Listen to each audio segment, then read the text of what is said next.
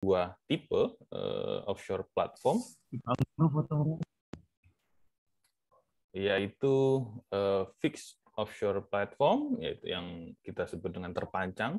Jadi ada uh, struktur jaket yang uh, menumpu atau mensupport atau menopang bagian uh, topside atau bagian platformnya. Kemudian ada juga floating offshore platform, di mana di top uh, platform ini ditopang oleh uh, kapal atau atau benda terapung. Kemudian untuk menjaga agar tetap di lokasi tersebut, uh, floating offshore platform ini ditambatkan dengan uh, mooring system atau tali tambat ya beberapa tali tambat. Nah, eh, untuk fixed offshore platform ini eh, cukup eh, suitable untuk di daerah perairan yang dangkal ya sekitar hampir sampai 80-an atau 100 meter. Kemudian kalau floating offshore platform ini ini cocoknya untuk Eh, deep water atau laut dalam yang nanti mungkin akan disampaikan challenge dan opportunities oleh Pak Murjito. Eh, untuk kegiatan eh, decommissioning, jadi karena kapal atau platform ini punya umur, jadi ketika sudah tidak berfungsi harus di decommissioning atau di dibersihkan dari lokasi lokasi tersebut.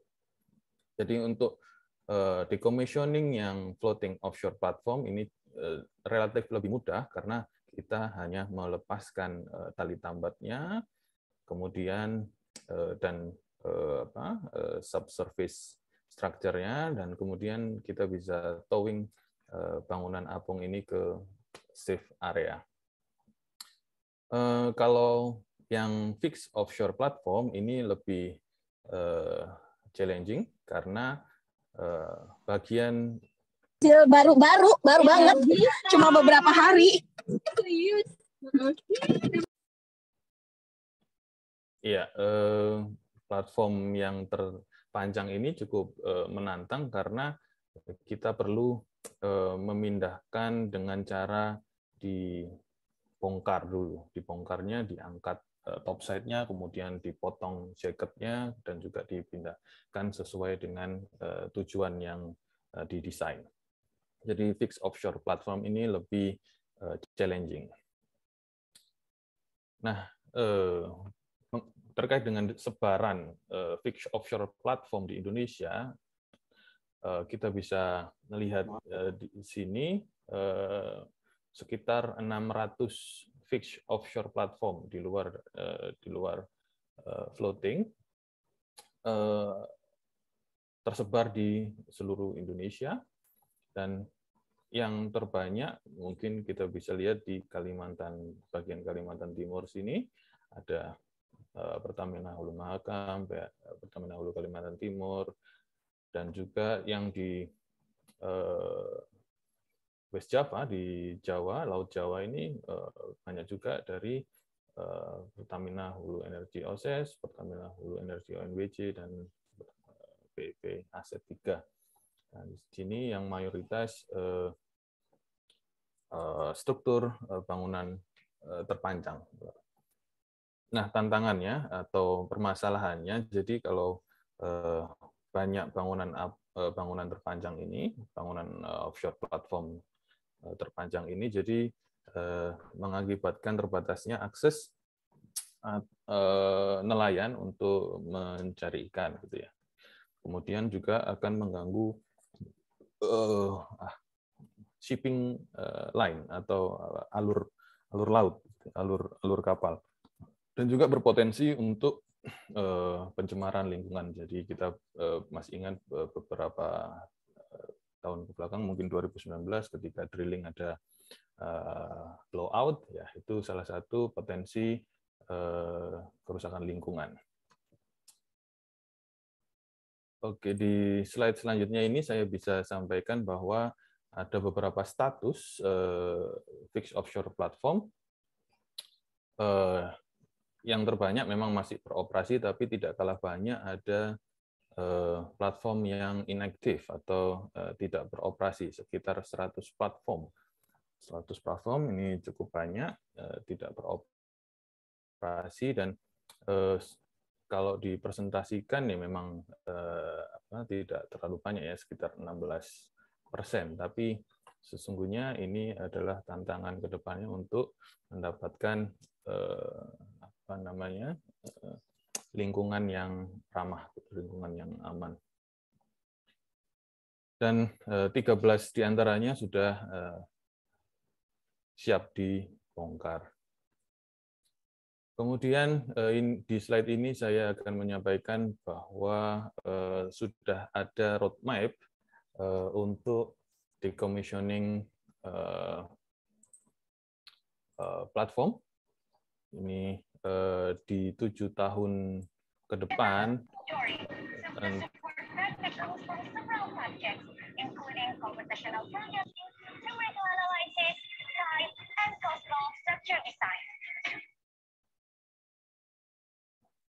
Oke, okay, kemungkinan Eh, tujuh tahun ke depan eh, saya kurang tahu startingnya tahun berapa ya semoga lebih cepat lebih baik di tahun pertama ada 10 eh, platform yang akan siap dibongkar yaitu milik PHKT dan ONWJ yang PHKT ini ya di sekitar Kalimantan Timur ini.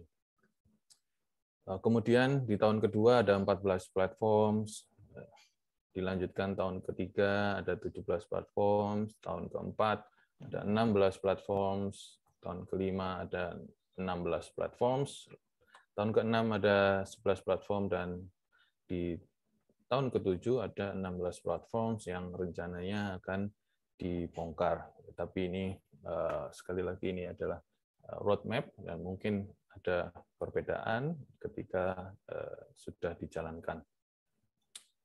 Dan keuntungannya ketika sudah dibongkar itu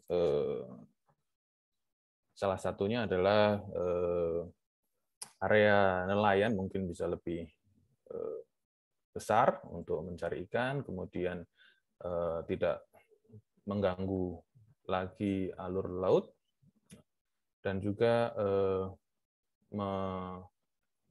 minimalisir potensi eh, kerusakan lingkungan. Dan eh, ketika dijadikan eh, apa namanya jaketnya jadikan eh, terumbu karang, mungkin itu malah menjadikan eh, habitat eh, bawah laut menjadi lebih baik. Dan eh, kalau eh, menurut eh, SKK Migas eh, terdapat beberapa tantangan eh, dan bisa diklasifikasi menjadi tiga kategori, yaitu kategori terkait dengan pembiayaan karena eh, platform-platform yang eh, tua itu ternyata belum di eh, apa? Di di save ini ya apa namanya biaya untuk pembongkaran. Belum ada cadangan biaya untuk pembongkaran. Kemudian dari sisi teknologi diharapkan lebih efektif dan efisien serta mengandalkan uh, lokal konten. Dan juga tetap mengedepankan uh, health, safety, and environment. Kemudian dari sisi regulasi memang ter, masih uh, kompleks regulasi untuk decommissioning ini, maka diharapkan bisa lebih uh, sederhana dan terintegrasi. Jadi dari Eh, introduction itu kami eh, mengambil eh, tantangan jadi untuk decommissioning sebuah struktur lepas pantai yang terpanjang kami berupaya untuk mendesain sebuah barge yang mampu mendecommissioning struktur lepas pantai terpanjang dalam satu kegiatan. Maksudnya satu in one go, jadi satu kesatuan secara langsung. Umumnya dibutuhkan beberapa kapal yaitu crane barge dan dan flat top barge untuk kargonya. Nah ini kami mencoba mendesain hanya dibutuhkan satu barge saja untuk merelokasi atau mendecommissioning ya sebentar untuk mendecommissioning uh, platform tersebut. Jadi uh, ini adalah uh, model yang kami modelkan terbuat dari flat top yang kami modifikasi bagian stern untuk dijadikan semacam U-shape gitu ya. Sehingga barge ini mampu mendekat sedekat mungkin dengan uh, platform. Jadi barge ini adalah barge kelas 400 feet, jadi sekitar 122 meter, yang memiliki lebar sekitar 36 meter dan uh, kedalaman uh, atau tinggi dari barge ini adalah sekitar 7,6 meter. Dan kami desain draft untuk operating ini dinilai 4,5 meter. Jadi eh, harapannya di bars ini kami bisa memuat topside dan eh, jacket sekaligus eh, untuk dipindahkan di lokasi yang di, sudah didesain atau yang sudah direncanakan.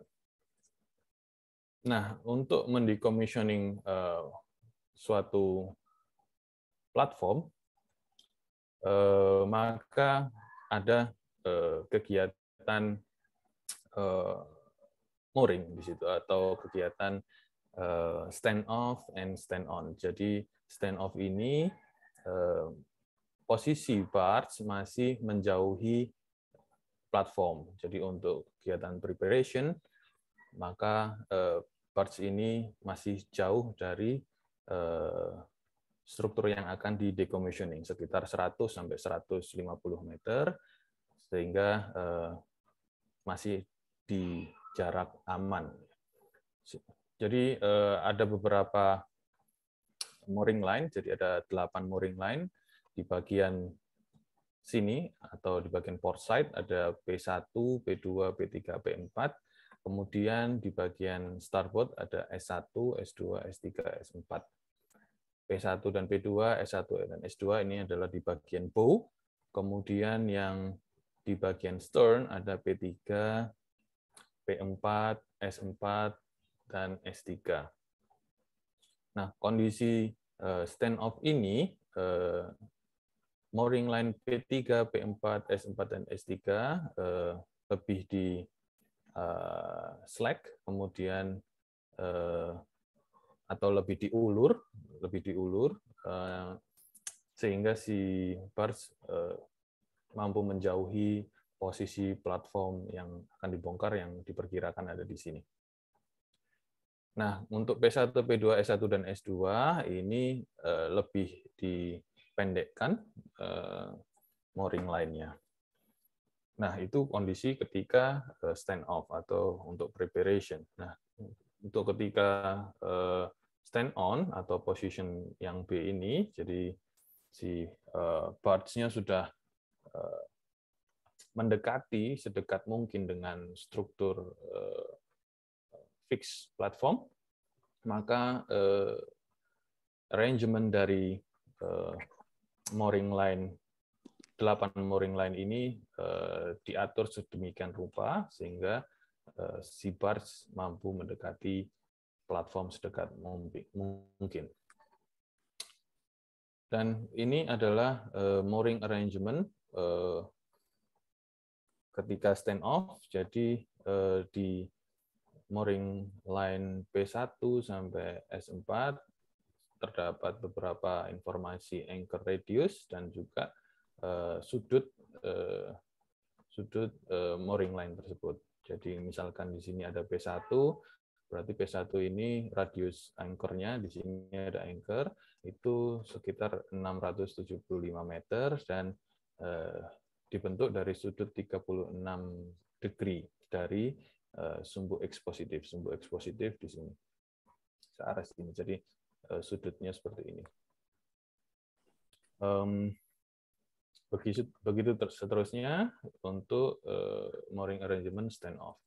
Dan untuk stand on, jadi ketika sudah mendekati uh, platform, uh, anchor radius uh, kami buat uh, seragam, yaitu sekitar 800 meter, sehingga uh, tension yang didapat dan motion yang didapat diharapkan lebih lebih balance, lebih balance.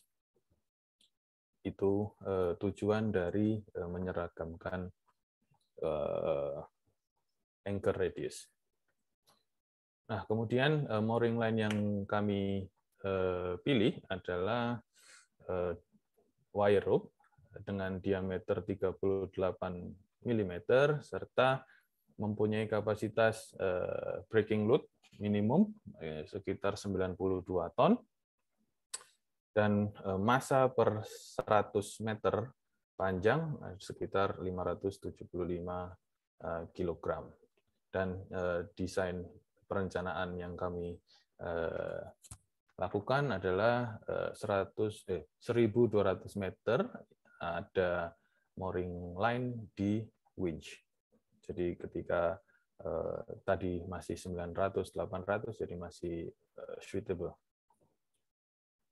Nah, uh, kondisi lingkungan uh, untuk desain kali ini berada di uh, kedalaman 58 meter. Itu di saya ambil di Kalimantan Timur di sini di Ataka. Kemudian irregular wave data. Ini eh, saya ambil juga data eh, semuanya 10 tahunan return period yaitu eh, significant wave height-nya 1,85 kemudian peak period-nya 6, eh, sekian second dan gamma 1,7 1,7 eh, non dimensional. Kemudian wind data kami ambil sesuai dengan API bahwa satu menit wind speed sekitar 15 meter per sekon dan untuk current atau arus eh, vektor sum current speed kami ambil 0,62 eh, meter per sekon. Jadi eh, dari modeling tadi diketahui respon amplitude operator untuk 6 degree of freedom, enam gerakan. Jadi di baris pertama ini adalah untuk translasi, kemudian baris kedua ini untuk rotasi. Eh, jika bisa dilihat di sini,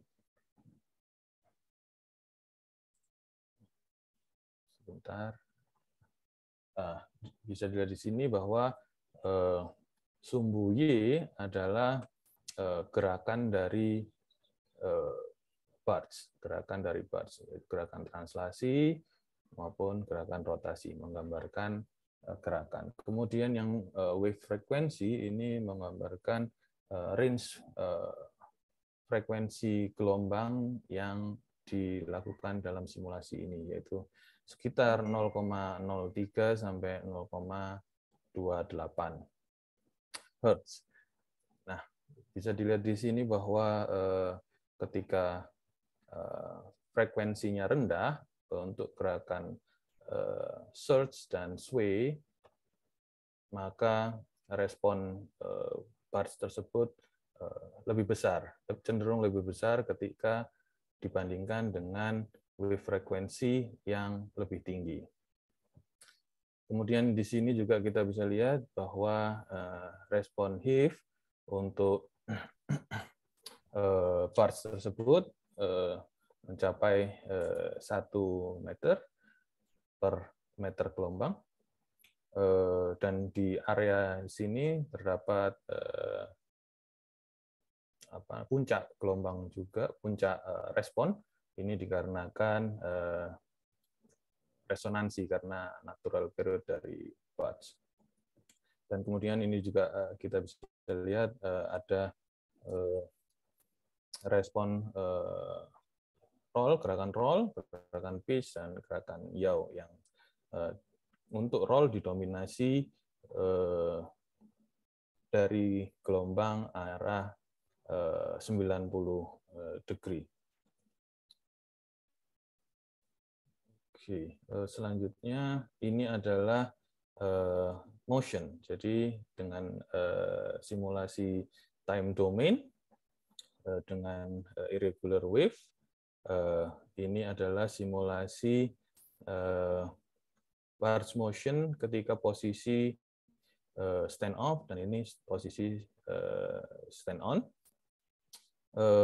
Ini adalah menggambarkan gerakan dari barge akibat beban lingkungan dari 0 derajat, 45 derajat sampai 180 derajat.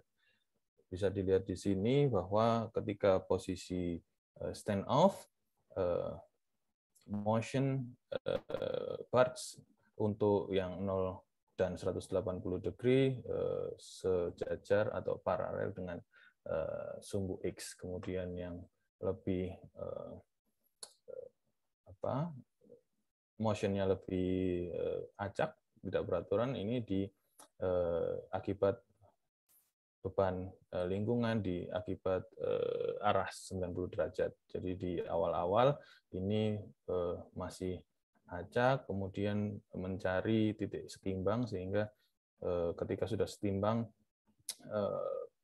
motionnya lebih lebih stabil di sini. Dan untuk posisi stand on B atau posisi B akibat dari tadi payout length-nya mooring line uh, hampir sama 800-an semua maka gerakannya uh, lebih lebih smooth daripada position A. Dan ini sekitar kurang lebih search-nya amin satu sampai satu setengah kemudian yaw-nya uh, sway-nya dari min 3 sampai uh, 3 tapi ini angka maksimum dan minimum angka maksimum dan minimum.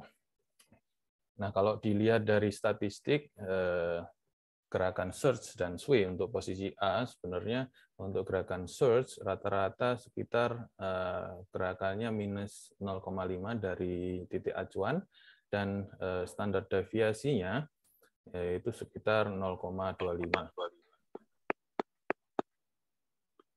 Ya, kemudian untuk gerakan sway relatif lebih lebih setimbang, lebih setimbang, eh, standar deviasinya sekitar 0,5, kemudian angka minimumnya sekitar min 3 sampai 3. Jadi eh, perubahan posisinya sekitar 6 meter untuk sway dari minimum ke maksimum. Nah ini untuk posisi B hampir sama, Eh, namun lebih apa namanya eh, dari sisi eh, gerakan lebih lebih balance, lebih stabil.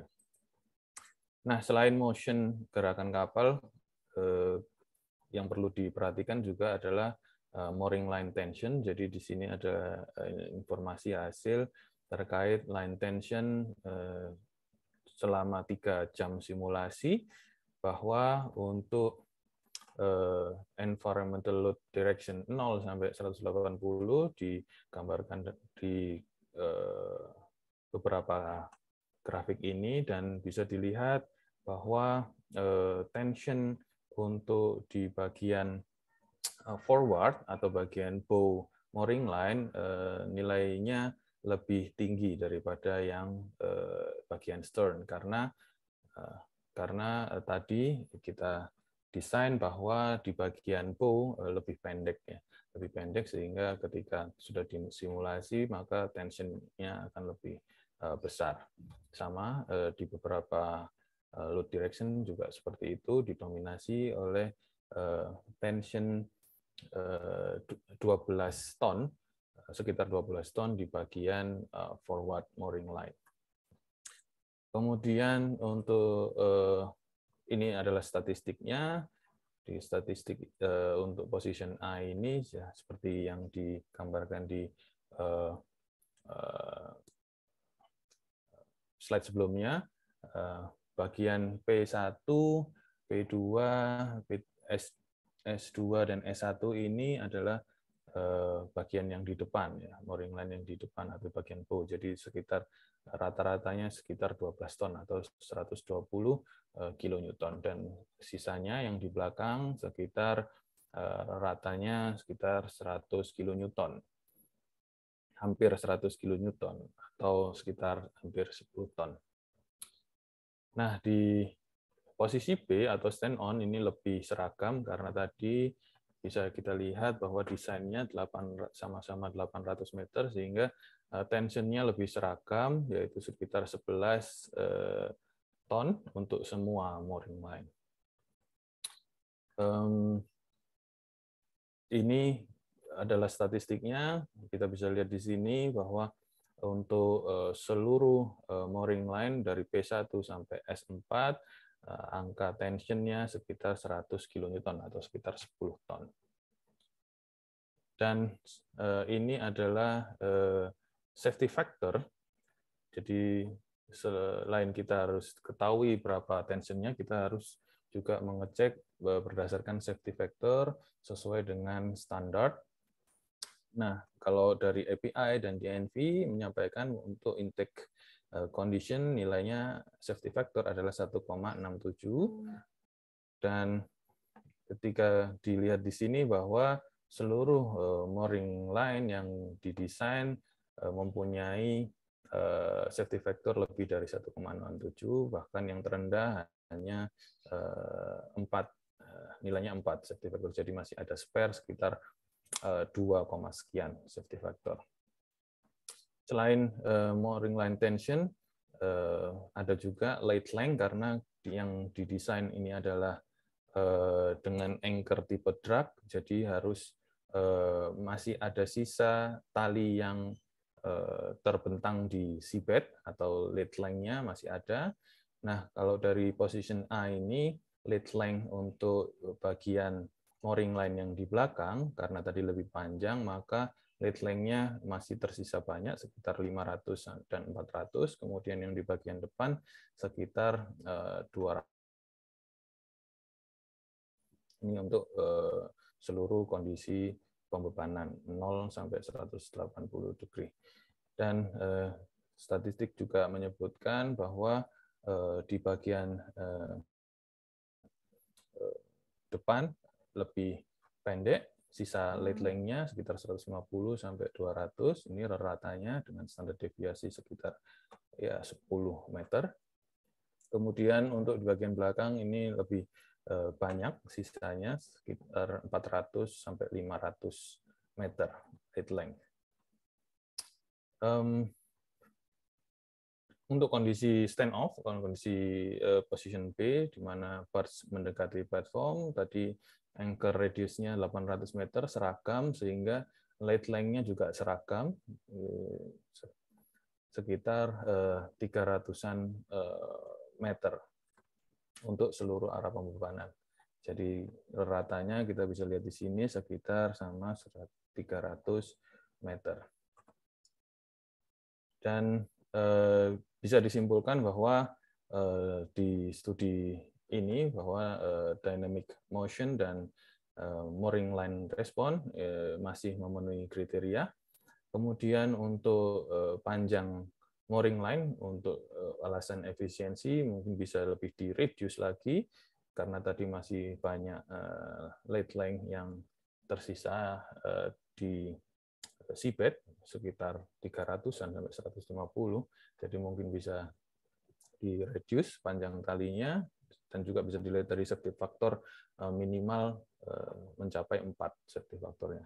Kemudian possibility eh, untuk dilakukannya decommissioning menggunakan decommissioning parts ini. Jadi berdasarkan studi ini dari sisi station keeping itu dimungkinkan untuk digunakan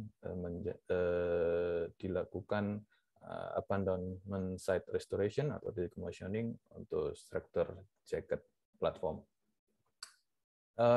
Itu ini slide terakhir saya. semoga nanti setelah ini ada diskusi atau tanya jawab atau masukan sehingga harapannya di research ini menjadi lebih baik. Eh, terima kasih. Saya akhiri. Assalamualaikum warahmatullahi wabarakatuh. Waktu dan tempat saya eh, kembalikan ke moderator. Waalaikumsalam warahmatullahi wabarakatuh. Terima kasih Pak Anggoro. Ya. Uh, jadi ini kita putuskan untuk pakai bahasa, bahasa ya Pak ya. Iya, itu petuah dari Pak Murjito. Saya tidak bisa nolak. Gak, gak, Uh, terima kasih atas presentasinya. Teman-teman kita semua, yeah. tidak ada asing satupun saya yeah. kayak rumah sendiri pakai bahasa asing. Iya, iya. Iya, Pak. Iya, Pak Murcito. Siap, Pak. ya, terima kasih atas presentasinya, Pak Anggoro. Yeah. Uh, luar biasa sekali terkait dengan the commissioning birds analysis dinamisnya uh, menggunakan time domain analysis. Uh, lalu yeah. tadi di awal juga sudah dijelaskan mengenai introduction-nya dan beberapa uh, analisisnya terkait dengan uh, respon dinamis. Oke, selanjutnya saya memberikan kesempatan untuk yang ingin bertanya secara langsung uh, menggunakan fitur raise hand. Silahkan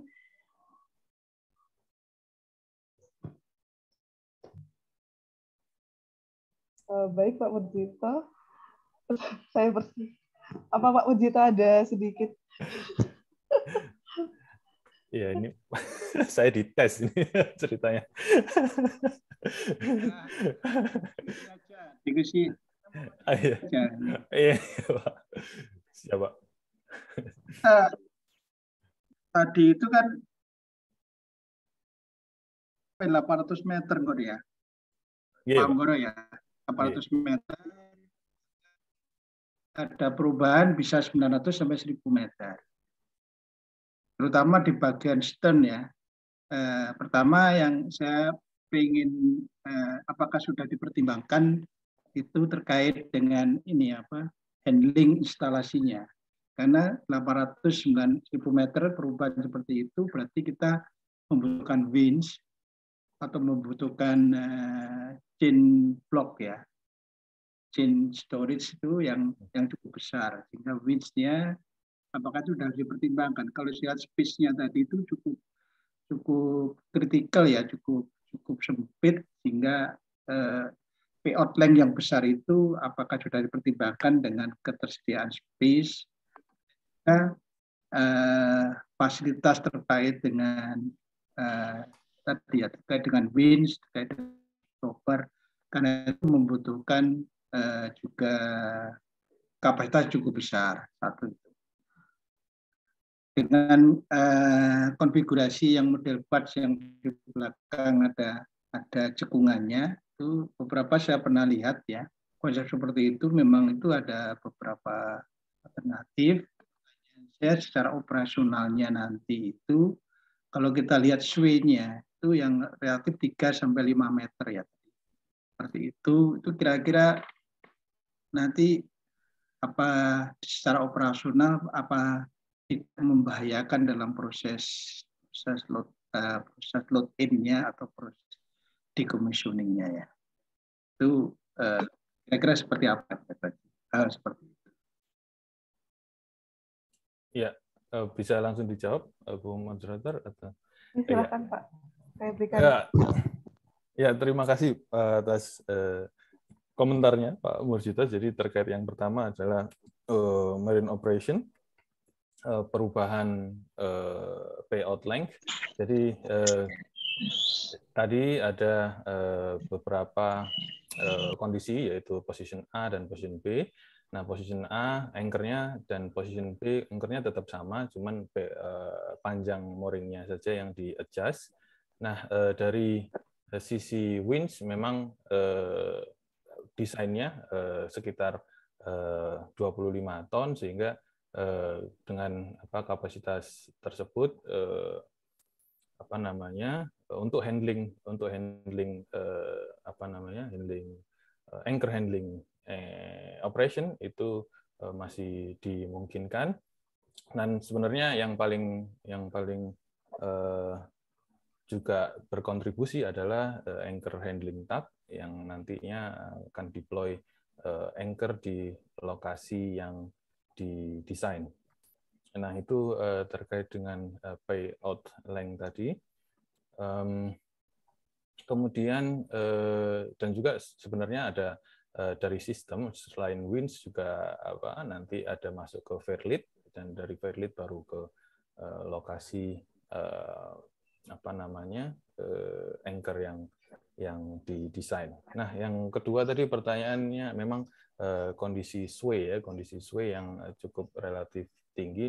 Kalau dari eh, simulasi maksimumnya tadi dan minimumnya sekitar min 3 sampai 3,5 sekitar 7 tapi karena ini simulasi jadi sebenarnya yang diambil mungkin bisa kalau dari statistik gitu distribusi normal jadi yang more likely akan terjadi itu tidak sebesar itu, eh, tadi bisa eh, sekitar eh, satu sekitar satu meter eh, sway-nya. Tapi untuk mempertimbangkan eh, sway yang besar akan eh, bisa di eh, apa namanya bisa di eh, di tackle dengan eh, eh, panjang eh, mooring line yang lebih diperpendek dan tensionnya lebih uh, dikencangkan lagi tadi karena masih uh, sekitar 10 sampai 11 ton dan itu uh, masih relatif rendah dengan kapasitas winch yang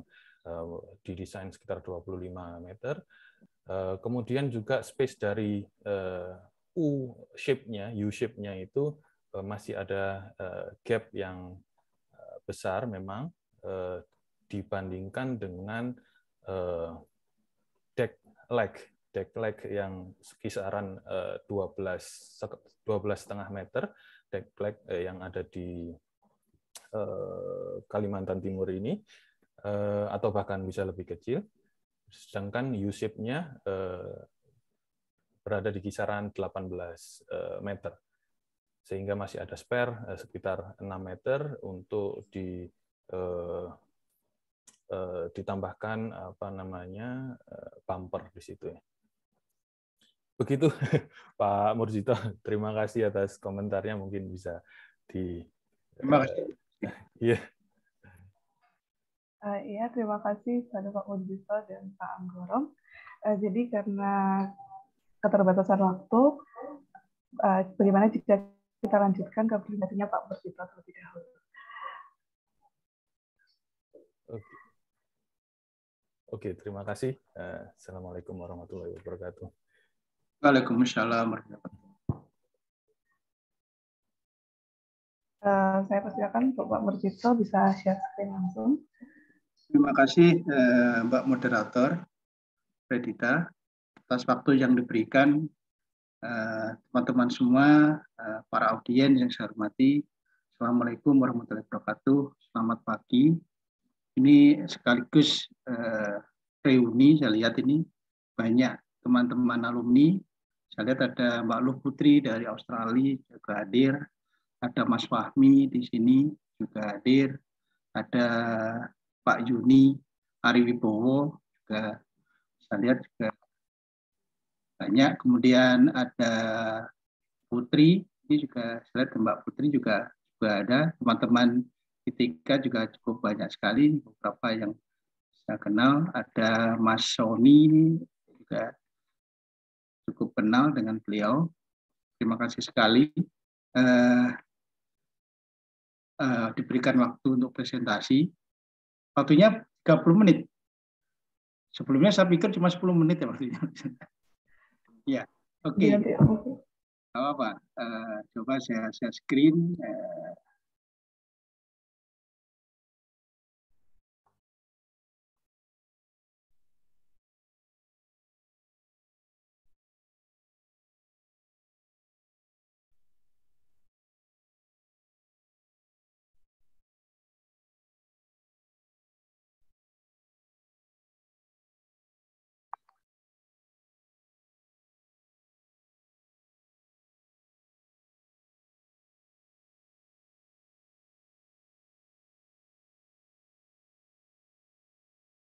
Sudah kelihatan ya?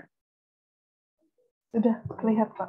Oh, terima kasih sekali. Jadi eh, topik dari yang mau saya presentasikan adalah challenges and opportunity in deep water industries and marginal field development uh, terkait dengan tadi isu yang di relevan dengan disampaikan oleh Mas Anggoro. Uh, sebelumnya saya introduksi uh, saya di lab hidrodinamika bangunan laut di sini bersama dengan para guru-guru kita. Pak Anggoro kenal ini pasti ya Prof. Komti Jarmiko, Pak Wisnu Wardana yang cukup terkenal dengan dengan apa crocodile-nya di situ. Dan di sini juga anggota lab satunya adalah Pak Susandoko yang sekarang sedang menyelesaikan program doktornya di Coastal Engineering. Uh, sebelumnya saya perkenalkan di lab Hidro kita ada beberapa kolaborasi ya, kolaborasi baik secara informal maupun formal Eh, dengan NTNU dan DNV kita sering mengadakan guest lecture dan juga dengan Universitas Hiroshima untuk sharing knowledge. Ini kami upayakan uh, ada ada lecture rutin ya dengan Pak Suyuti, dengan Mas Teddy, dengan beberapa beberapa ahli yang ada di di Norway seperti itu dengan Pak Vincent. Uh, juga dengan eh, teman-teman dari Hiroshima, saya lihat juga mereka punya penelitian cukup menarik di bidang motion engineering, terutama otomatisasi sistem uh, dan kontrol ya di sana. Kemudian kami juga mempunyai hubungan cukup dekat dengan Sekitar Malaysia dengan Pak Ika. Kami sedang apa, mempropos kegiatan bersama dengan LR yaitu tentang certification integrity uh, dan monitoring ya, integrity monitoring dari dari in-service inspection, guidance for SPM holding. Ini uh, proposal teknis pertama kami sudah di, di approve sama Register. Tinggal kita masuk ke tahap kedua. Ya, semoga pada tahap kedua, ketiga, ini masih ada dua tahap lagi. Ya, proposal kami bisa bisa full nanti bisa kita pakai untuk riset bersama. Uh, juga teman-teman ITK nanti bisa bergabung untuk riset bersama terkait dengan dengan topik ini. Yang kedua adalah kami sedang melakukan shift mode, uh, adalah riset kolaborasi dengan uh, European Union bersama dengan Spotlight Glasgow dan Dell University uh, diketuai oleh Prof. Eko Budi Satmiko di sana yaitu SIGMA itu adalah strengthening synergies between aviation and maritime in the area of human factor toward achieving more efficient and resilient mode of transportation. Jadi kita uh, lebih banyak riset di sisi uh, safety itu dan memasukkan faktor human factor di dalam uh, safety tersebut. Uh, kemudian kami juga mempunyai kegiatan bersama dengan Wisma University sejak tahun 2012 terkait dengan Sustainable Island Development Initiative yang kebetulan uh, sebagai lokus areanya risetnya adalah di Maratua. Di sana itu Mbak Putri juga sudah sering terlibat. Jadi teman-teman ITK yang mempunyai area di sana mungkin bisa bisa terlibat atau mengembangkan lebih jauh lagi untuk uh, riset kolaborasi di sini. Oke. Uh, mungkin kita masuk ke topiknya seperti ya topik yang ada sebenarnya kita ada beberapa mas, uh, beberapa kondisi dengan marginal fit ya. Secara umum ini uh, definisi yang yang yang sering dipakai dan saya quote dari NPT ya, uh, Neurologian Petroleum uh, Department 2004 yang dimaksud dengan marginal fit adalah a field that may not produce enough net income to make it worth developing at given time. So technical or economic condition change, such a field may become commercial. Artinya di sini bahwa uh, kondisi field itu uh, pada kondisi tertentu memang tidak tidak profitable, tidak ekonomis, tapi pada kondisi lain bisa ekonomis tergantung kondisinya di sini.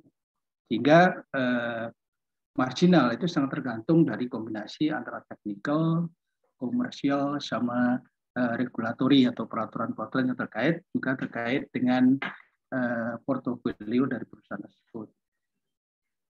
Uh, marginal field sering didefinisikan bahwa uh, suatu operasi di suatu field di mana rate of return-nya itu kurang dari minimum rate of return. Sehingga eh, apa secara ekonomis dia tidak memberikan margin yang menguntungkan. Walaupun uh, minimum rate of return dari company to company itu bisa berbeda-beda.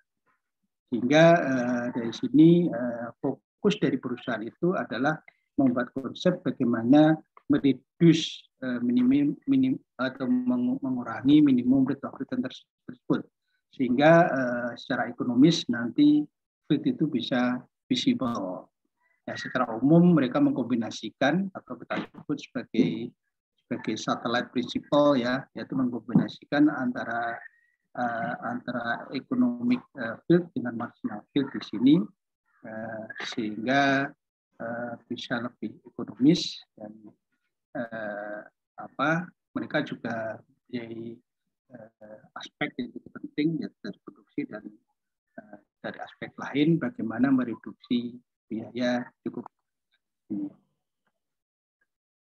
Uh, kemudian beberapa tantangan di marginal feed yang perlu kita pertimbangkan. Yang pertama adalah tentang fluktuasi dari oil and gas prices. Sebelum uh, terjadinya pandemi, kita pahami bahwa harga minyak itu sampai di bawah 50 dolar dan itu uh, cukup cukup bertahan cukup lama sehingga bahkan beberapa tempat uh, uh, banyak perusahaan yang collapse situ ya.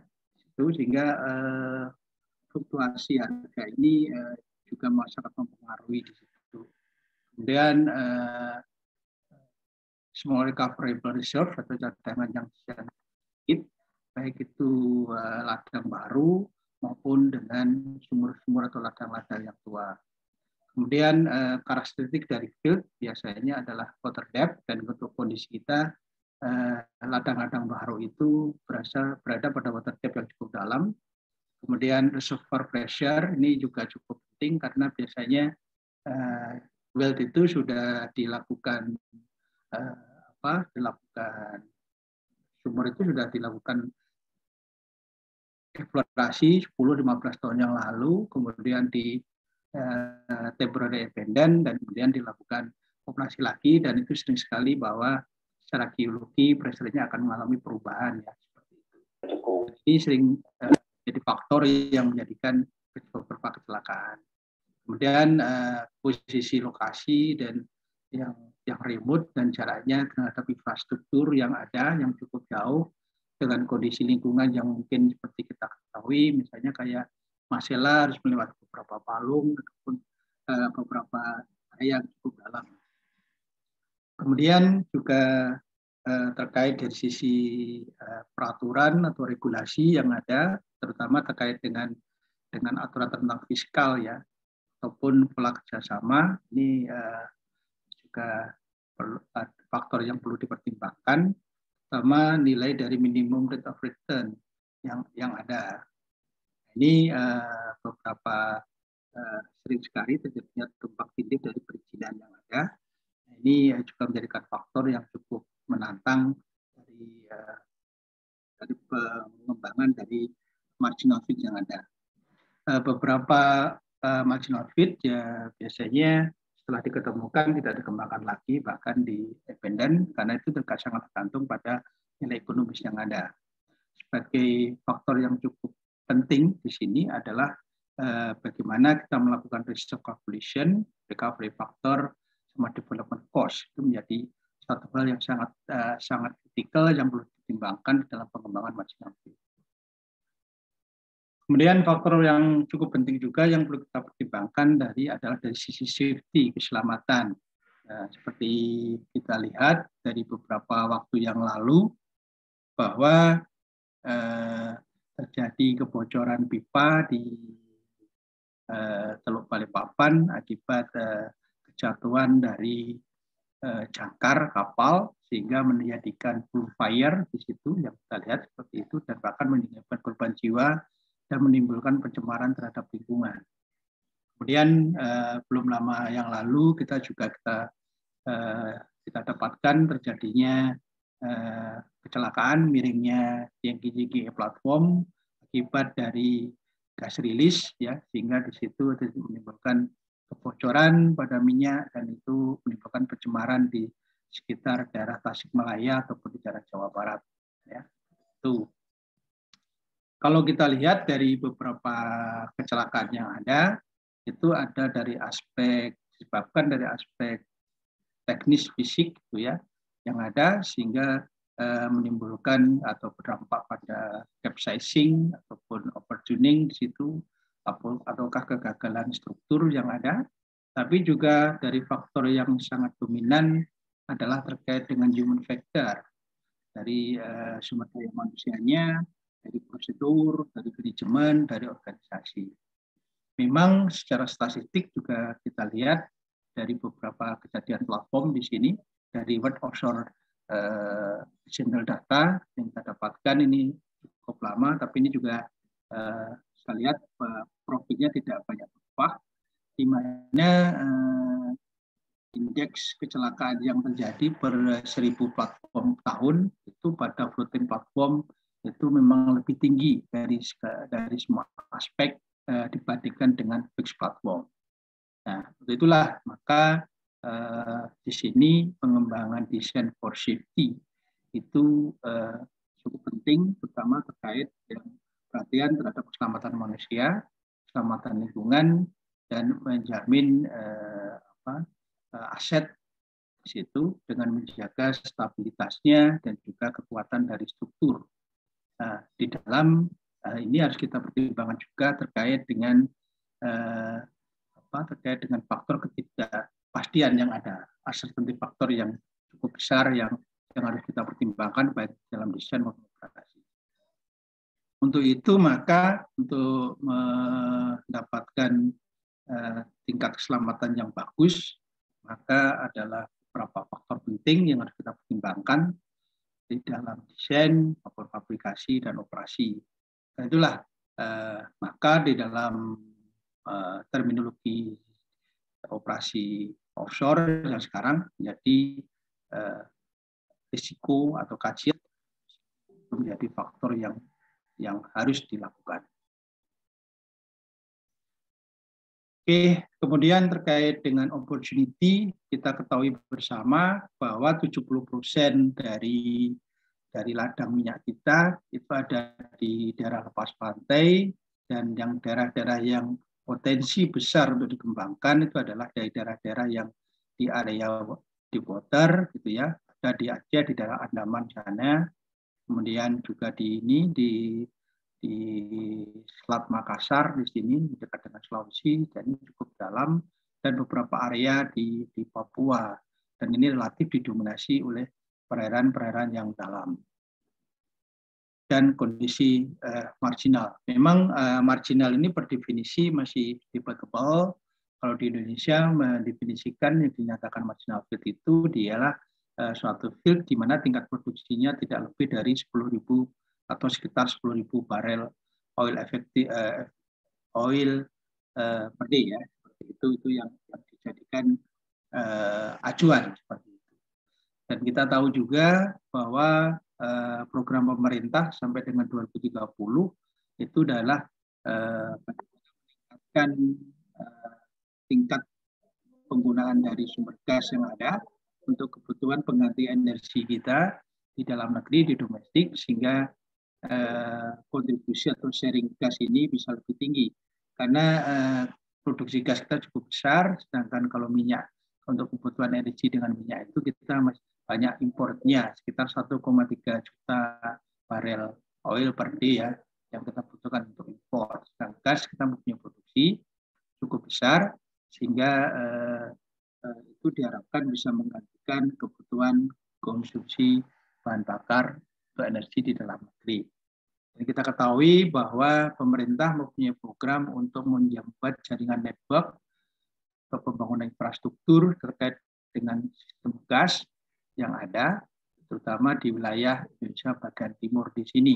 Ya, itu mulai dari uh, Nusa Tenggara Timur, kemudian klaster uh, Papua Utara, klaster Papua Selatan, klaster Maluku, klaster uh, apa, klaster Sulawesi, itu menjadi bagian yang cukup penting dikembangkan.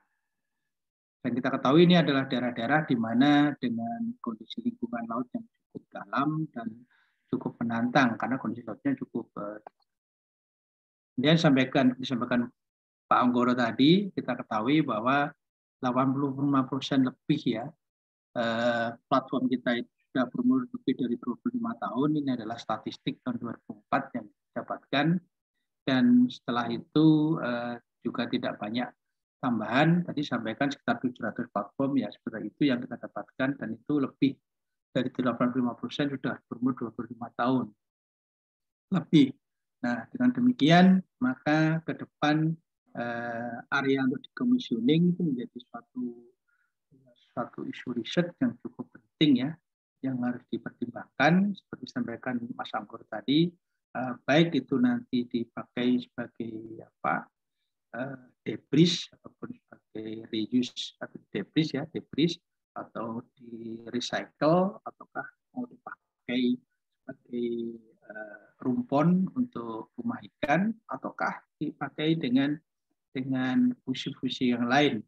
Ini sudah dilakukan setahu saya riset itu sejak tahun 2006 di KKP, kemudian juga sudah ada peraturannya terkait dengan abandon and site restoration dari dari migas. Oke, uh, ini adalah development strategi yang yang saya quote dari atau saya ambil dari pendekatan yang telah dilakukan oleh NPD dari pengalaman mereka di dalam pengembangan marginal field. Yang pertama eh, di sini eh, perusahaan akan fokus pada pengembangan teknologi baru mana bisa meningkatkan nilai keekonomian dari field tadi. Ya, seperti itu. Kemudian eh, mengintegrasikan atau mengkombinasikan antara economic field dengan marginal field di sini. Setelah kalau istilah kita adalah ngindong ngidit gitu ya, seperti itu uh, dari sisi uh, operatornya. Kemudian uh, dari sisi regulator mungkin uh, pemberian insentif beberapa paket insentif ya, ya tentunya uh, sini adalah terkait dengan case by case dari kasus-kasus uh, yang dihadap yang diterima. Kemudian adanya integrated solution terkait terutama terkait dengan perizinan dan sertifikasi sehingga memberikan nilai ekonomis lah dalam pengembangan seperti ini dan adanya win-win solution lah dalam pengembangan seperti ini. Ini adalah beberapa strategi yang telah dilakukan oleh NPD. Saya uh, mencari beberapa literatur bagaimana dengan di Indonesia. Saya belum mendapatkan gambaran yang cukup jelas, tapi yang yang yang diambil. Kemudian eh, seperti saya sampaikan tadi di depan bahwa eh, teknologi atau pengembangan teknologi baru itu menjadi suatu yang yang cukup eh, parameter yang cukup penting di dalam pengembangan marginal field di, di sini. Dan itu ini adalah beberapa langkah yang yang perlu dilakukan oleh NPD. Yang pertama adalah mengidentifikasi tantangan terutama challenges ini terkait dengan faktor-faktor yang terkait dengan karakteristik dari fieldnya sendiri dan eh, dan bagaimana mengekspor atau mengirimkan eh, produk dari hidrokarbon tersebut ya. Kemudian yang menjadi eh, fokus areanya tentunya terkait dengan kondisi lingkungan yang harus dipertimbangkan bagaimana recovery-nya deepwater-nya kemudian small field yang yang ada sama value chain yang bisa didapatkan dari uh, dari field tadi. Yang menjadi teknologi target tentunya adalah uh, seperti saya ke depan adalah pengembangan teknologi untuk decoder, kemudian transport dari bagaimana kita mentransportkan atau mengirimkan produknya tadi, kemudian dari sisi prosesnya antara pemilihan antara dry proses sama wet proses, di mana dry process itu di atasnya surface, sedangkan wet process itu akan banyak mengembangkan uh, teknologi yang ada di di uh, di permukaan dasar laut. Kemudian seabed teknologi ini terkait dengan uh, apa? Terkait dengan beberapa kegiatan, misalnya terkait dengan subsea, terkait dengan uh, foundation itu juga juga perlu dipertimbangkan. Kemudian lain terkait dengan stimulus recovery, cost efektif, kemudian reservoir management dalam hal ini adalah terkait dengan e-operation, mana dalam operasinya sedapat mungkin banyak menggunakan uh, uh, feature-feature ataupun teknologi aplikasi yang lebih unmanned atau lebih menggunakan automatic system. Kemudian uh, dari target maka perlu dilihat dari sisi kompetensinya baik itu kompeten, kompetensi di, di, di hard skill-nya maupun skill-nya harus dipertimbangkan kesiapan dari uh, itu semua. Barulah ke implementasi. Uh, di dalam implementasi ini tentunya perlu mempertimbangkan dari sisi regulasi yang ada dan dari standar yang yang berlaku. Barulah dilakukan eksekusi. Ya. Uh, memang uh, marginal field ini eh, banyak variabel ya yang terkait di sini. Pertama adalah tentang kedalaman water depth gitu ya, water depth sendiri kedalaman area operasinya, kemudian eh, size dari reservoirnya, saya sampaikan tadi biasanya tidak terlalu besar, kemudian eh, requirementnya seperti apa, kondisi lingkungan, juga kondisi eh, soil yang ada seperti itu. Dan supaya ini juga terkait dengan uh, apa dengan HSE seperti disampaikan oleh Mas Ambor tadi. Sehingga uh, dalam konsep marginal fit itu harapannya semua ini bisa sesuai dengan semua kondisi yang menjadi requirement. Nah, sebagai alternatif solusi memang uh, dipilih kebanyakan kalau kita baca terkait dengan marginal field itu adalah penggunaan mobile uh, structure ya seperti FPSO, Floating Production and Storage Offloading, ataupun Mobile Offshore Production Unit, ya, atau check up, di mana uh, beberapa unit tipe unit seperti ini mempunyai keuntungan tentunya uh, meredus capex-nya karena uh, kemungkinan mereka bisa di, menggunakan menggunakan uh, mengkonversi dari dari existing facility atau unit yang ada itu digunakan uh, sesuai dengan fungsinya kemudian lebih cepat di dalam uh, eksekusinya dan biaya untuk uh, memindahkan itu lebih murah dibandingkan dengan big structure. Tapi juga ada banyak kerugian yang harus dipertimbangkan karena jumlahnya yang terbatas sehingga availability-nya itu menjadi menjadi pertanyaan, menjadi hal yang cukup dipertimbangkan dari pengalaman kami di dalam melakukan seperti ini tidak banyak yang cukup tersedia jika kita mau melakukan konversi menjadi uh, unit yang dibutuhkan, misalnya FPSO, di mana FPSO dibutuhkan misalnya yang kelas Panama yang tersedia di di lapangan kapal kelas Panama ada, tapi yang yang bisa dikonversi untuk menjadi FPSO Panama itu sangat terbatas. Dan kalaupun ada, biasanya cost-nya juga cukup mahal, baik itu karena keberadaannya misalnya cukup jauh, misalnya ada di Eropa ataupun di, di Jepang sana, sehingga untuk melakukan mobil-mobil itu memerlukan biaya cukup mahal. Kemudian dari sisi durasinya, biasanya uh, durasinya cukup pendek ya, uh, yang yang pernah kami dapatkan itu durasinya cukup pendek, yaitu uh, 3 sampai 5 tahun. Nah, ini memerlukan komitmen yang cukup tinggi sehingga dari sisi cost-nya menjadi pertimbangan. Oke, kemudian uh, beberapa parameter penting ya di dalam dalam memilih field itu ada uh, memilih unit ada satu field karakteristik, production karakteristik dan juga dari operational karakteristik seperti itu. Kemudian uh, keperluan untuk storage, uh, facility yang harus dibutuhkan, uh, konsep maturity-nya seperti apa, constructability-nya, uh, di mana mau dibangun dan bagaimana membangunnya itu juga menjadi pertanyaan. dan flexibility baik dari sisi fungsi ataupun reuse harus kita pertimbangkan. Cost drivernya topside dan uh, decommissioning untuk ataupun reuse-nya.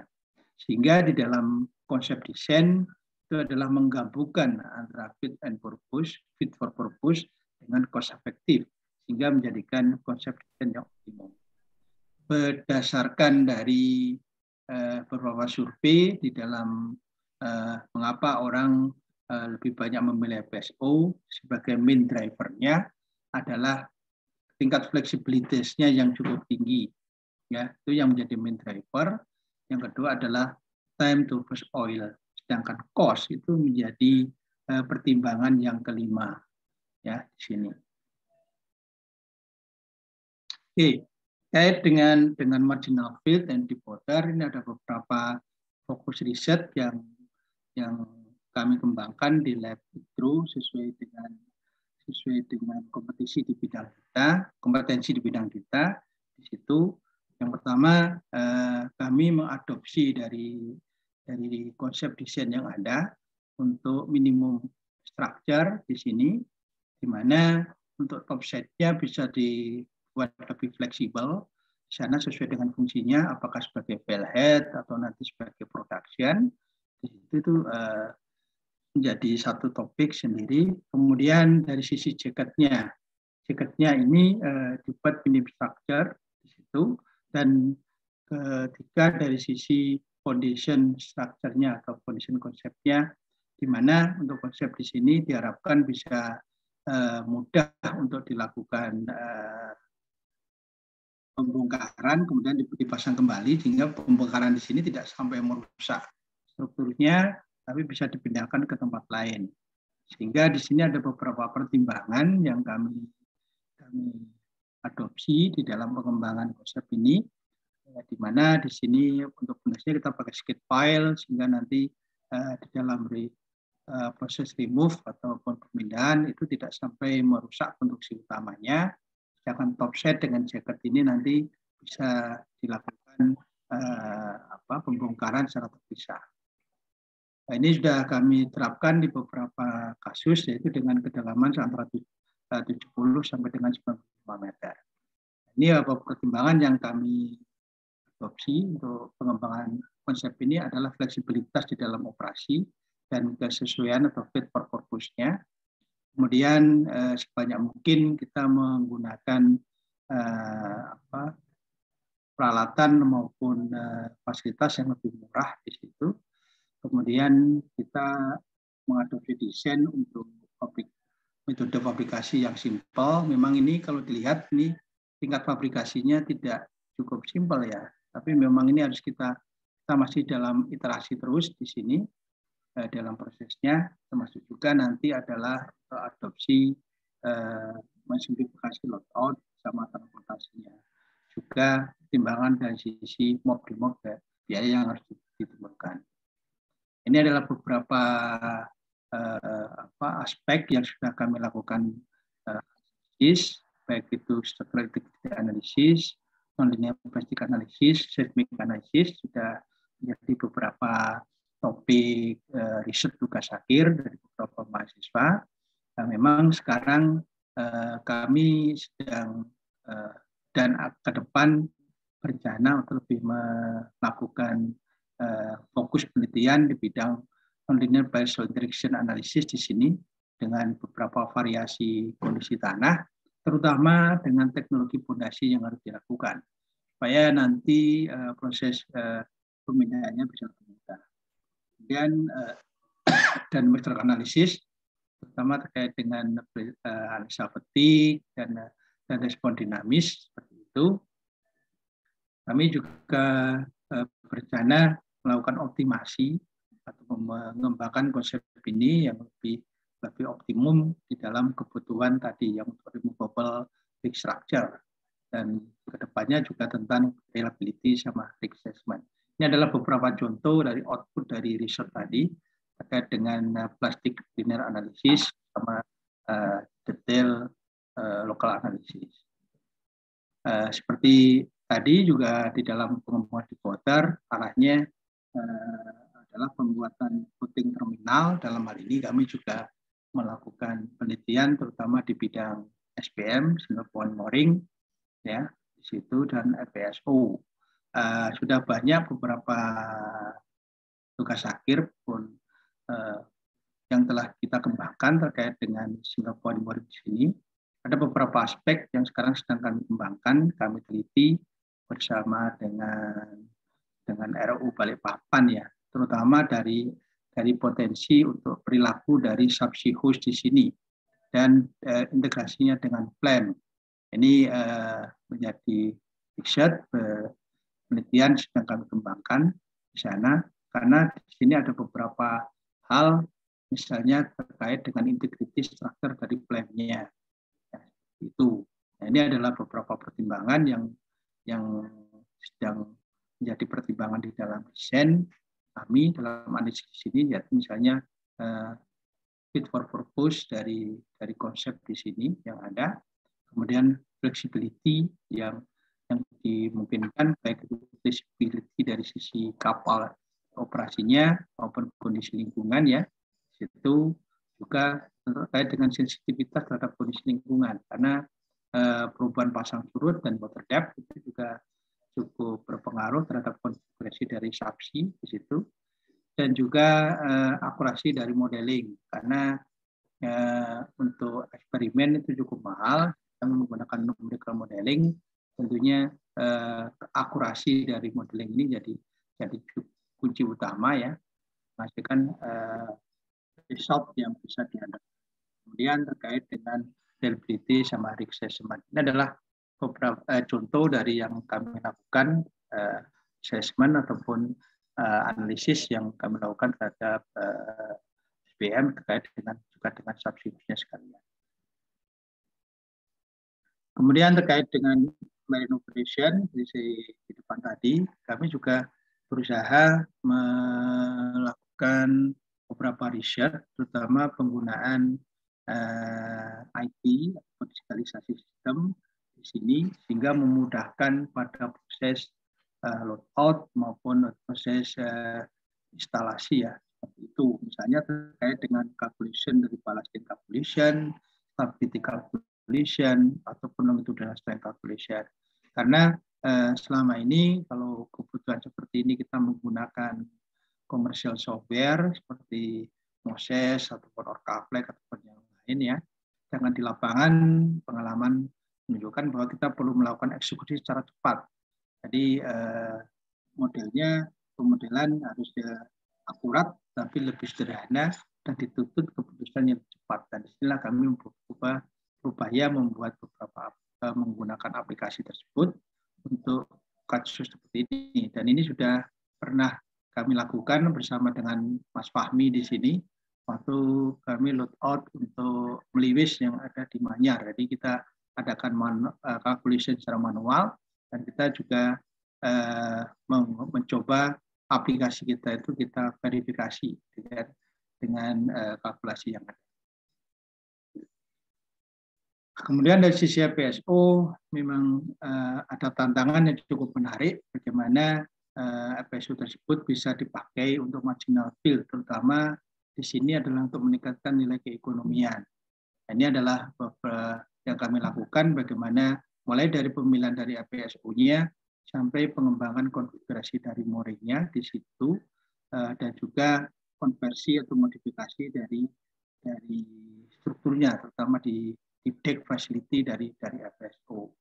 Memang di sini banyak aspek yang kami pertimbangkan terutama eh, hal ini sangat terkait dengan kondisi lingkungan operasinya. Ini adalah seperti ini karena fasilitas yang sudah ada di sini telah menjadikan uh, apa constraint di mana kita tidak mempunyai fleksibilitas yang cukup besar di dalam uh, proses pemilihan maupun pengembangan dari dari FPSO. Sebagai contoh, ini di sini ada ada kabel, ada ada pipeline ya di sini sehingga uh, apa membatasi bagaimana tadi mooring deployment yang harus kita kita berikan karena ini akan berhubungan dengan jarak aman posisi dari anchor point terhadap uh, terhadap pipa maupun kapal.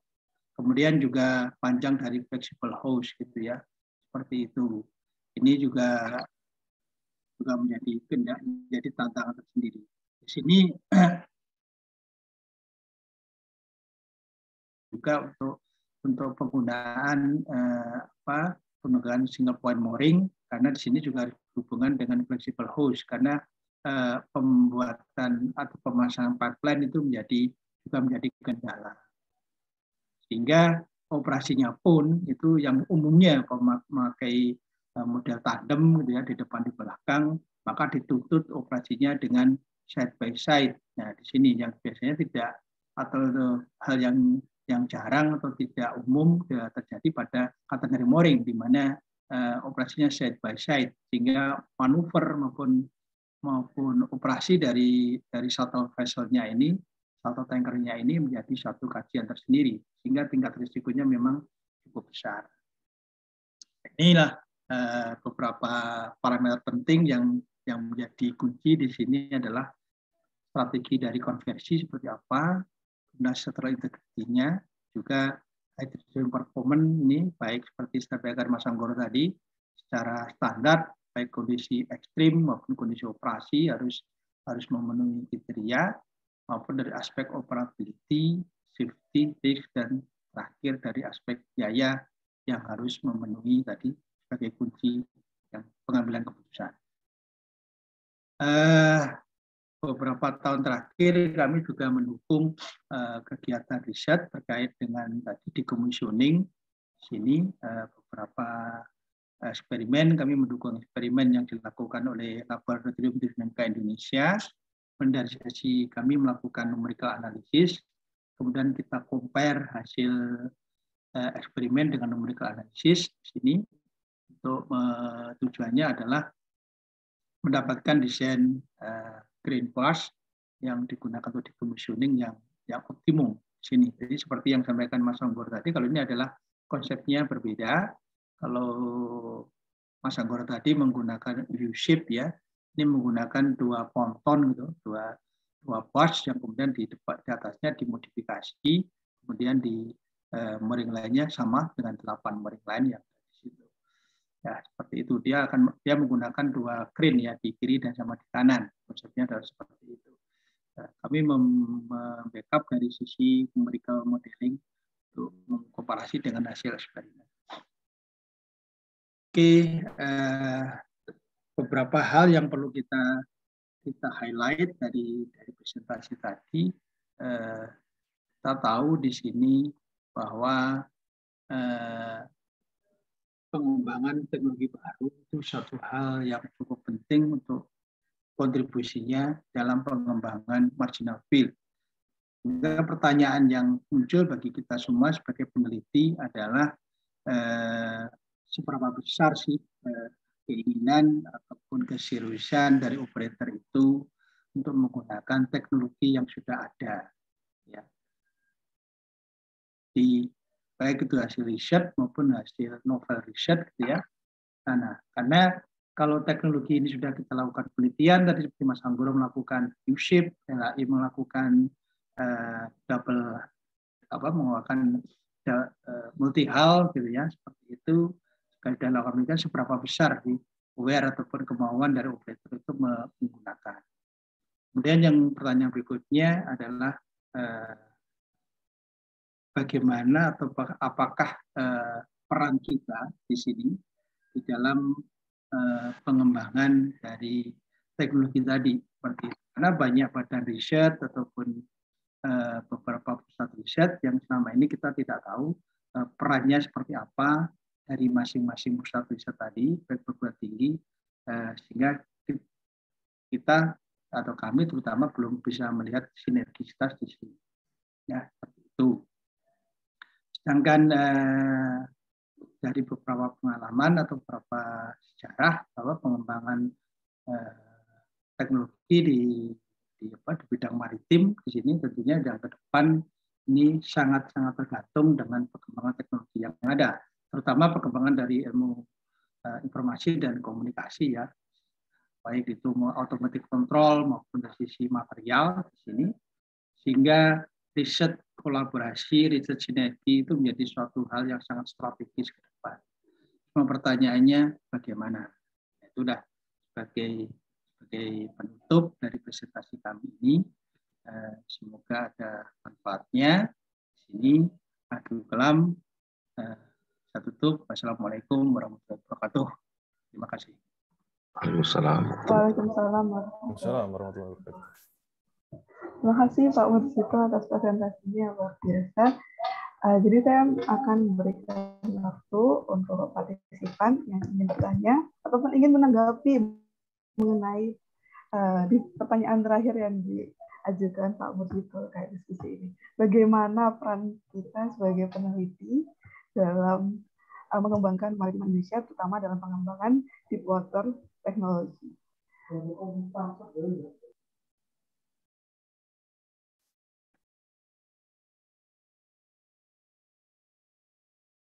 Oh, langsung uh, dengan Pak Anggoro, silahkan.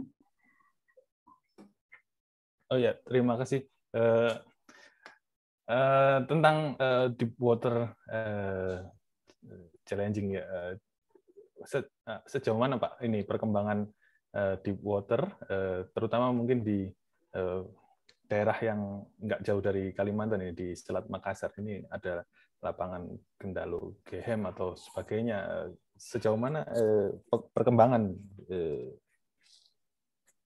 eh, apa namanya eh, penggunaan deepwater field ini, Pak. Terima kasih itu aja pertanyaan saya.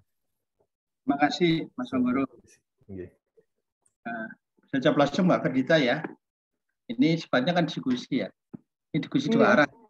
Iya, diskusi dua arah aja, Pak. Oke. Okay. menarik itu.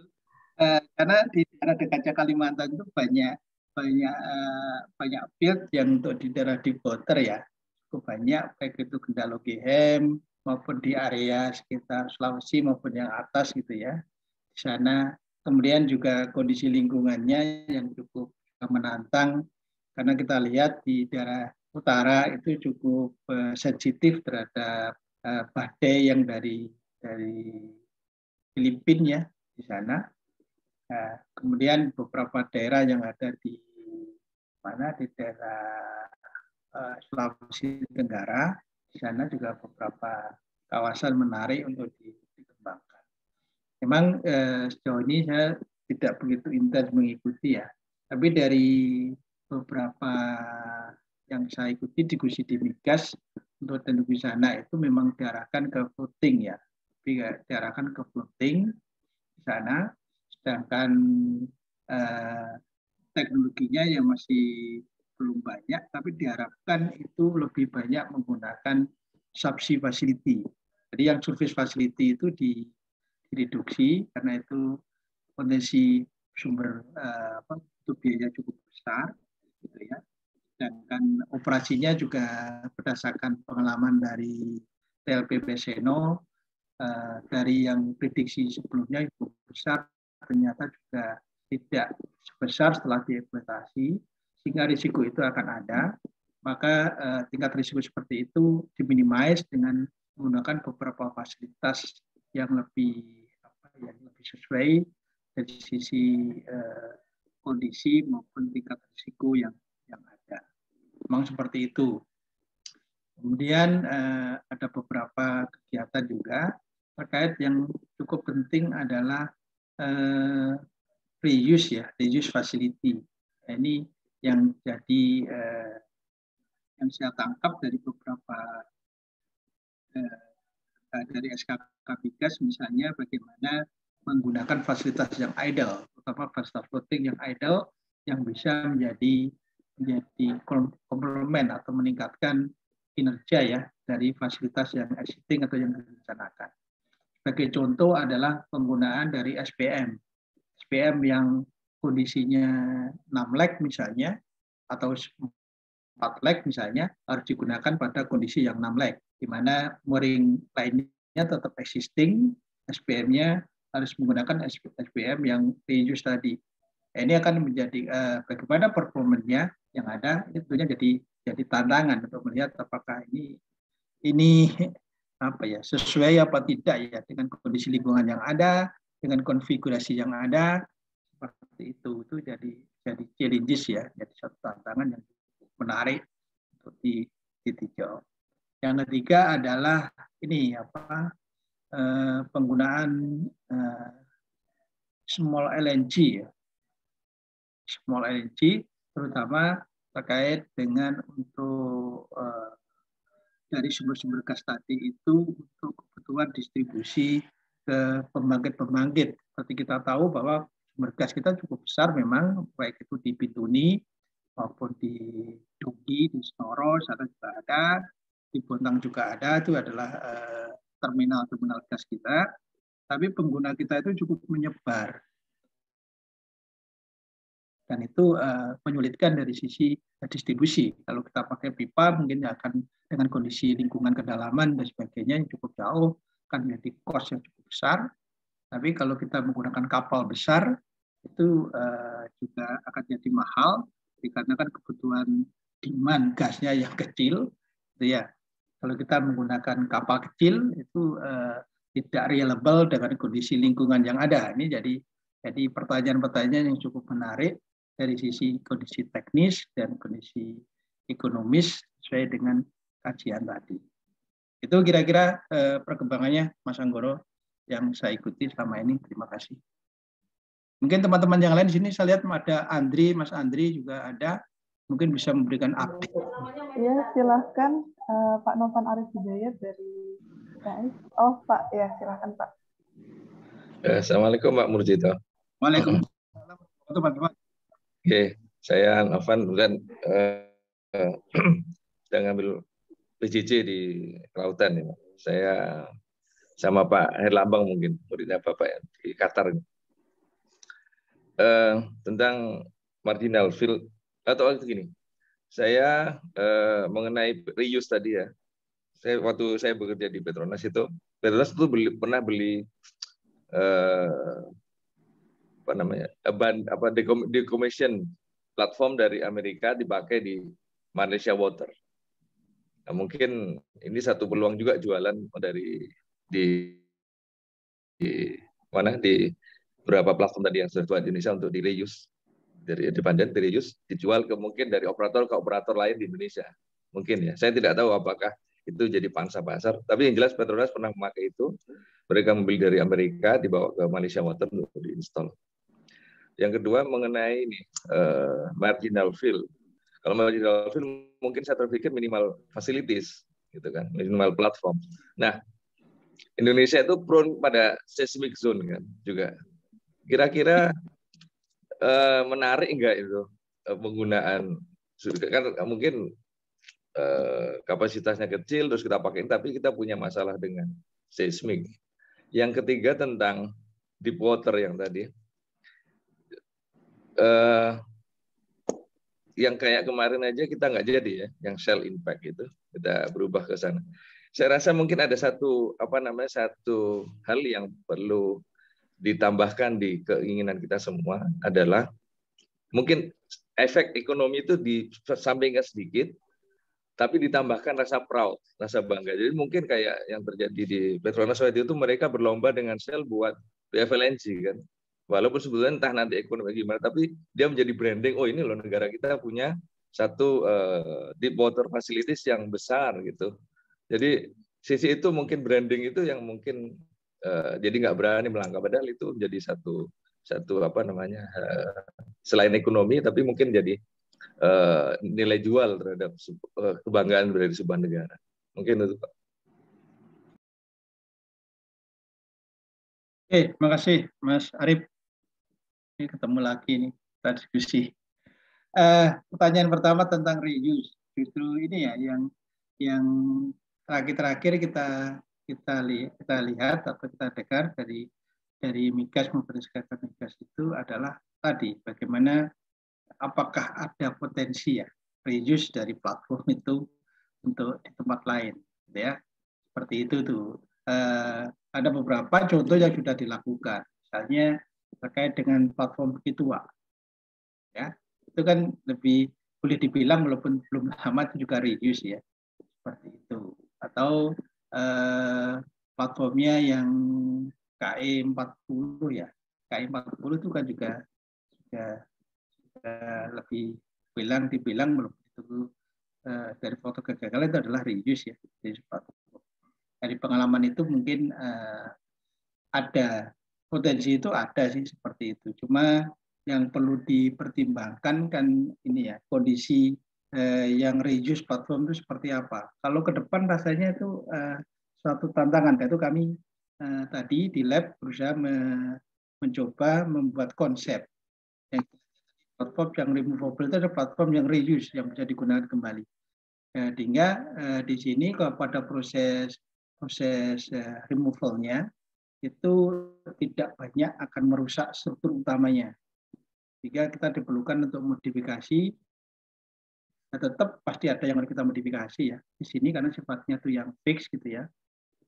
Nah, karena kita fix pakai model tiang panjang, nah tinggal sistem tiang panjangnya ini mau pakai uh, driven pile atau pakai pakai suction pile ya seperti itu mungkin suction pile eh, kalau dari sisi cost juga akan akan lebih mahal ya tapi nanti juga eh, yang jadi masih kami eh, pikirkan bagaimana itu adalah eh, integrity antara foundation dengan main structure-nya tuh nah ini kalau skid pile seperti apa yang yang disconnectable gitulah seperti itu kalau kita pakai fixed joint rasanya ini pasti akan terjadi defect ya pada pada main structure itu terkait dengan itu.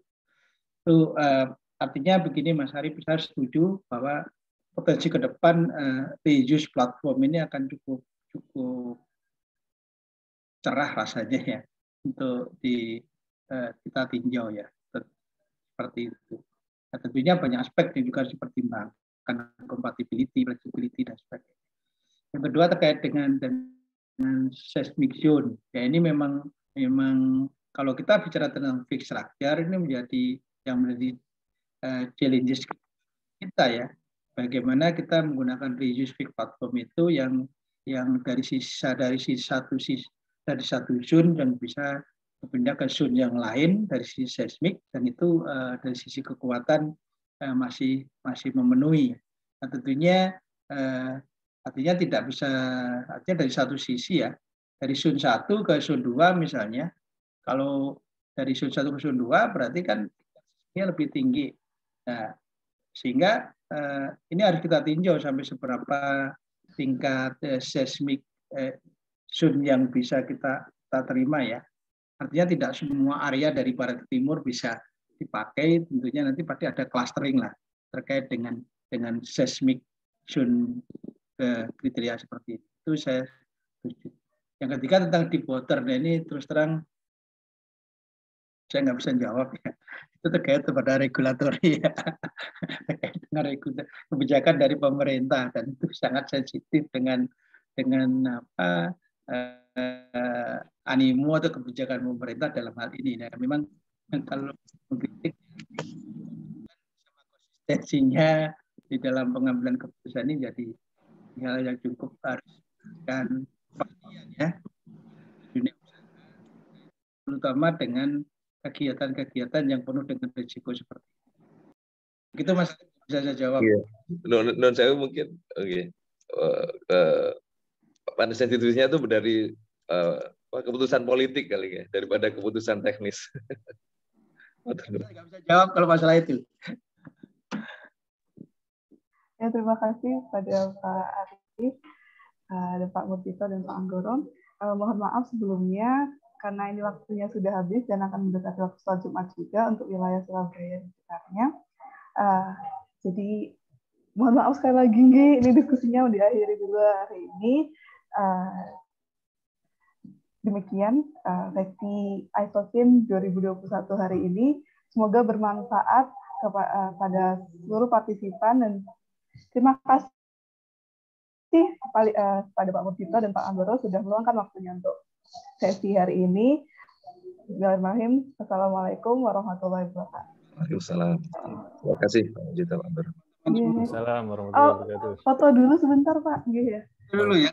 Untuk resipan mohon uh, dibuka videonya, foto bersama. Uh, habis ini kita juga ada kami Uh, jadi uh, setelah ini akan ada penutupan. Uh, dimohon untuk pindah ke room satu, jadi kita akan ya menentukan best participan di sana. Lalu, oke, okay, saya foto dulu ya. Satu, dua, tiga. Satu lagi. Satu, dua, tiga. Oke, terima kasih. Linknya saya berikan di Zoom chat ya untuk di ruang satu. Terima kasih. Terima kasih. Terima kasih.